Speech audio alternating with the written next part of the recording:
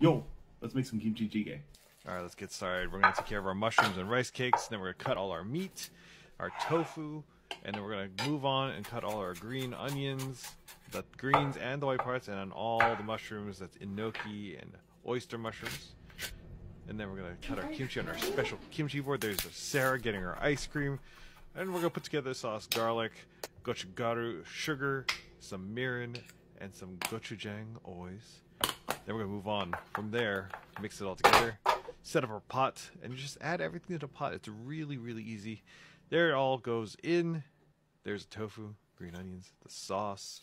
We're gonna top it off with a lot of chicken stock. Light it up, cover for about eight to ten minutes, and then we're gonna add our rice cakes and our ramen and let it sit for a little bit to cook.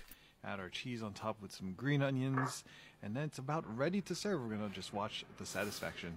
Thank you for watching. See you next time. Bye.